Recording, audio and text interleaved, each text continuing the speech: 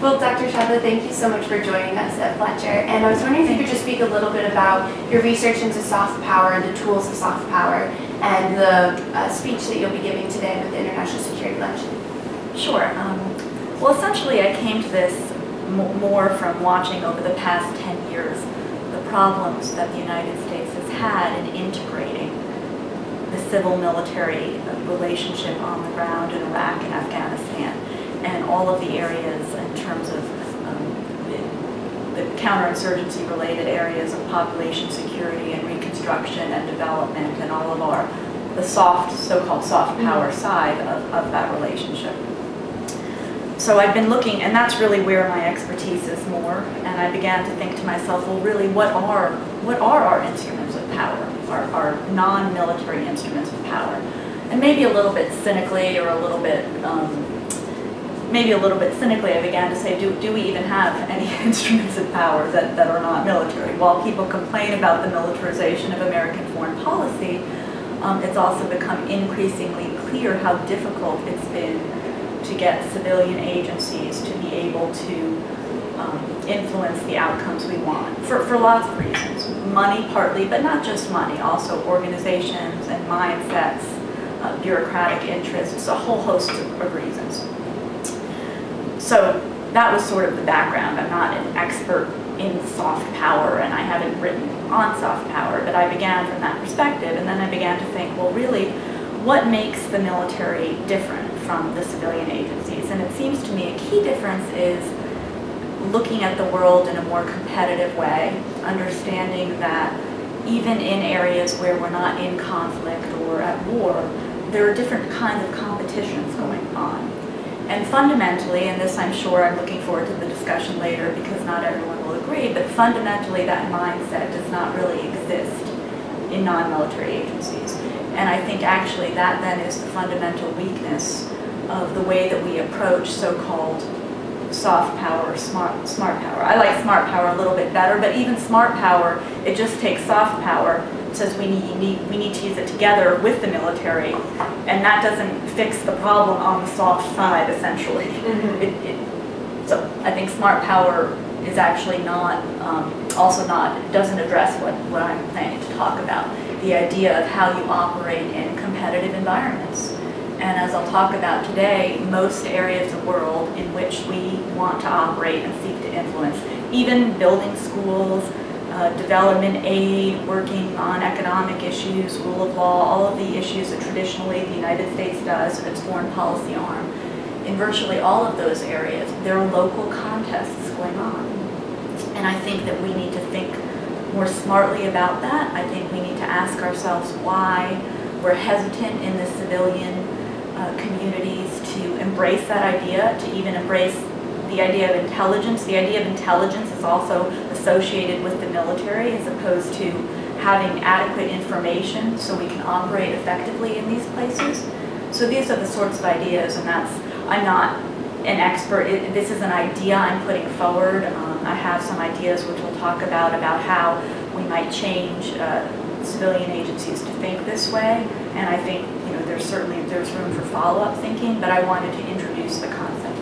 And are there any case studies that you use, whether historical or contemporary, to assess this issue?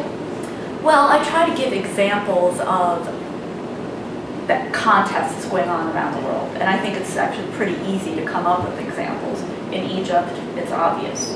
Everything is being contested there. Ideas, ideas about politics, ideas about the economy, ideas about women in society. Even within the Muslim Brotherhood, that in itself is a contest, and then also in the larger society in, in Tunisia um, contests about the direction of the society. Even building a girls' school in Afghanistan is not, creates adversaries. I mean, not, not enemies, but they're, they're your, you're impacting local politics. So um, I think it's also important as an aside, it's not that they're enemies, it's just that there are contests going on about ideas. Mm -hmm. And you need to convince, you need to understand who, who where the opposition might come from, the level of opposition, and think about a strategy to overcome that. Um, Pakistan, everything about Pakistan is contested today, both internally and externally. Um, Latin America also, their, their forces now and in, in terms of how the governments are likely to be organized and our efforts at institution building, automatically we, we create um, opposition or proponents of our approach just by being there. So it's understanding that landscape better.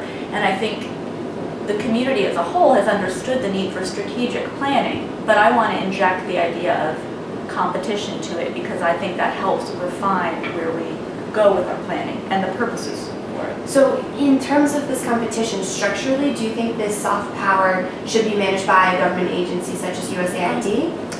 I just don't, I think soft power is problematic. I, I don't think soft power is an, is a lever of American influence that we can rely on to achieve our outcomes. Soft power is passive, it's, it's attractive, it's about attractiveness. Um, Joe has talked about it as such, and I think Professor Shultz later will, will discuss that aspect of it. So I think we need to think more assertively about how we want to influence non-military realm. And soft power, as currently conceived, doesn't actually always help us. So I guess it depends what you think of as the tools of soft power. But if it's um, if it's being a good nation, um, sort of upholding human rights when we can, doing the right thing in our own country so that other people look to us as an example, that's great.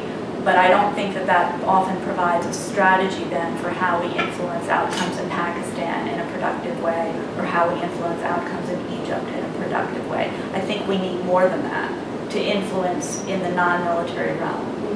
Um, So I think it actually, um, I think it only just addresses one component of American power. That's not an original thought. I mean, lots of people have had that thought. But I think we need to push on that a little bit more if we're going to talk about what, you know, what instruments of American power.